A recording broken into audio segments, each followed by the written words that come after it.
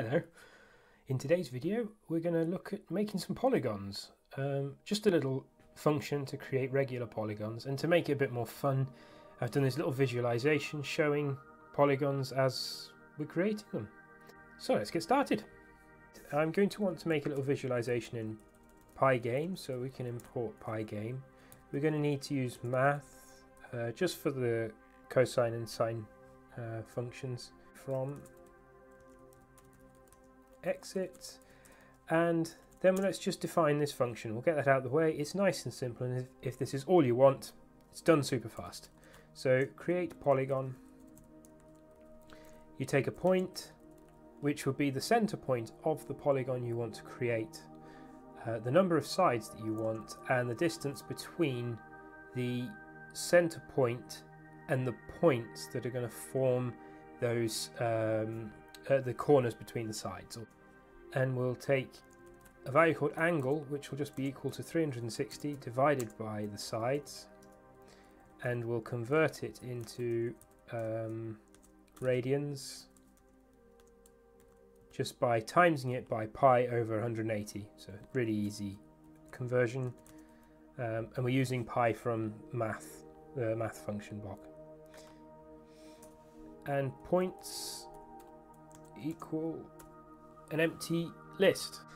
So what we want to do is fill this set of points and then we just return all those points and we can use them to draw some nice lines in Pygame.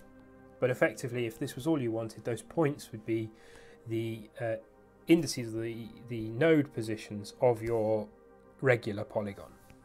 So for i in range 0 to sides, um, and that will go up to the number of sides, because bear in mind, you don't normally count the sides from 0, you count them from 1. So the fact that we're going up to sides minus 1 values is absolutely fine x is equal to point 0. So what we do is we're, we're basically using uh, the cosine function to find our x and the sine function to find our um, y value. So we're using each of these each of these points.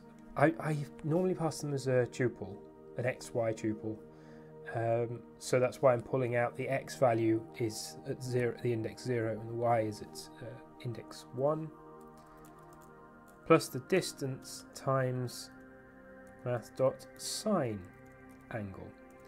So we can return it as uh, no, we want don't want to return it yet. We want to go points append x comma y and return points. Lovely. That should literally just return a set of points for each of the corners of a regular polygon with x number of sides, or n number of sides, sorry. So let's make a quick visualization of this. Width equals 400, height equals 400. This is just a Pygame setup. I'm not going to go into detail about it. Whenever I use Pygame, I pretty much do the same thing for my setup. So there's nothing particularly exciting or, or novel in this bit. It's just nice to get it done quickly.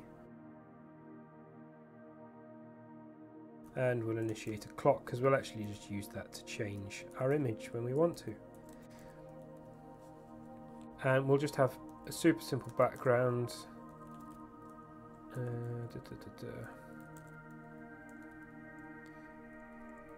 and we'll probably make it like black or really dark grey. With an RGB but we'll just keep it something like that. Oh missing a comma am I? no just got an extra space.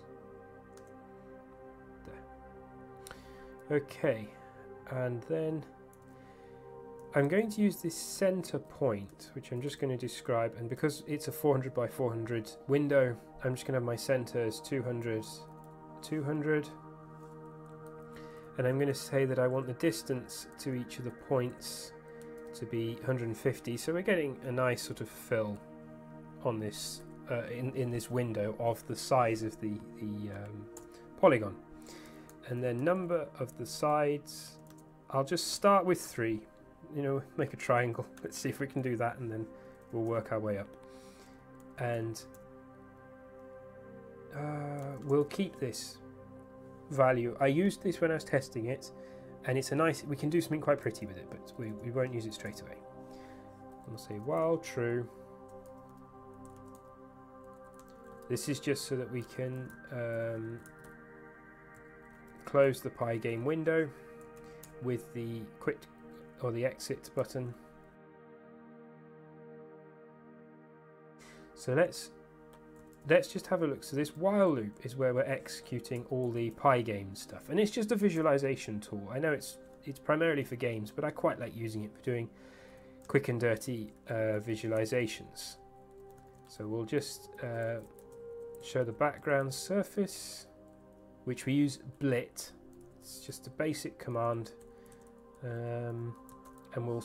What you do, sorry, is you put your surface, you blit your surface, so it puts your surface on the screen and you use a tuple to describe the XY position of where you would like it, the corner of it to be.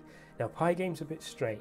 Its XY coordinates works not opposite, but 0, 0 is at the top left hand corner, whereas normally we're used to thinking of 0, 0 being at the bottom left hand corner in a, in a graph. So it's a little bit tricky to get our heads around that, but everything works the other way. So the higher the Y value, the further down you go. Um, we'll have a look at how that how that works in a moment. Um, and then we'll use our shape. Uh, sorry, we'll use our create polygon to define a shape where we've got the center. That's a point. The number of sides.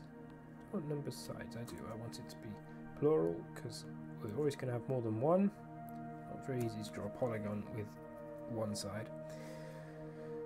And shape distance.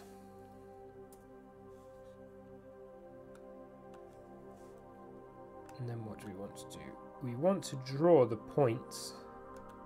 This is just using Pygame functions for index, point, enumerate, uh, shape. So we're unpicking those points that we got out of it because it'll give us a, basically when the create polygon is finished it returns that set of points which defines each of those corners and I've just put that into something called shape and so shape is a list that we can enumerate to get the index and the point so what we can do is we can say pygame.draw.line and it will draw it on the screen. Uh, we'll have it in a nice light colour, like not quite white, but but a, like a really light grey. And we'll draw the point, and we need to have well, we need to have two points. So we'll draw the present point to the in the previous index.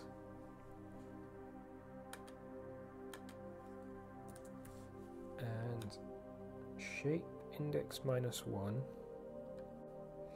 I just want to put in the update function. So pygame.display.update and clock tick. Uh, we'll only do it two times a second. We're not we're not trying to get like high frame rates or anything like that. And we'll run that. Uh, create polygons.py. Lovely. So it's just Python create polygons.py and we'll see what happens. I wouldn't be surprised if there's an error. oh no, there we go. So we got a triangle. Seems fine. Okay. Let's just try making a pentagon. So we'll do five. Close this close this down. Oh, sorry, I just changed this to 5. And we'll run it again. Okay, yeah, that's working nicely. So you can easily, I mean, we can do something silly, I don't know. When you start to do them too, too big, you you lose a bit of uh, resolution. So 20, I, it might just start to look like a circle. No, no, you can you can see.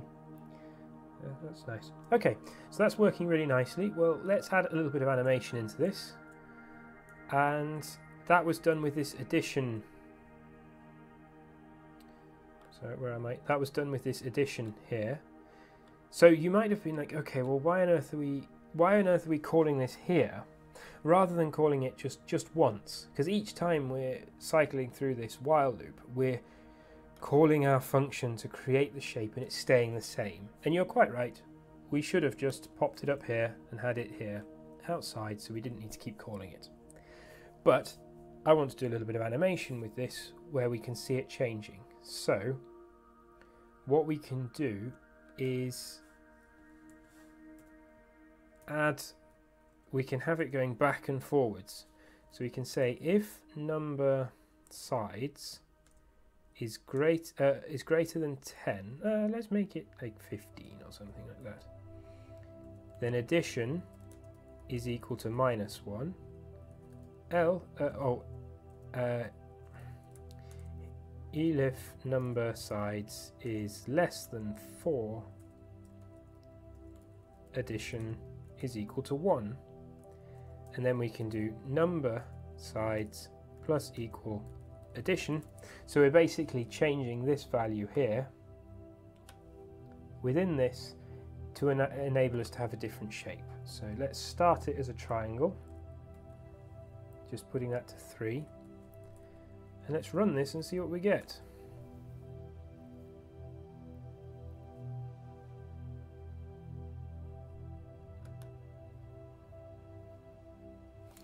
There we have it. Nice little animation of the polygon generator. They're all regular polygons. We can explore potentially some asymmetric or non-regular or irregular polygons. But I just thought this was a nice little function to create those. I have a little bit of a maths puzzle in mind with this project anyway, and I thought I'd share it. So I hope you enjoyed.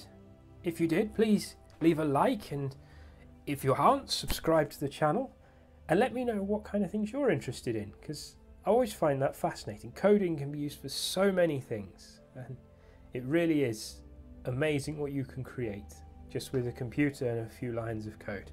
So thanks for watching, and I'll see you in the next one. Bye!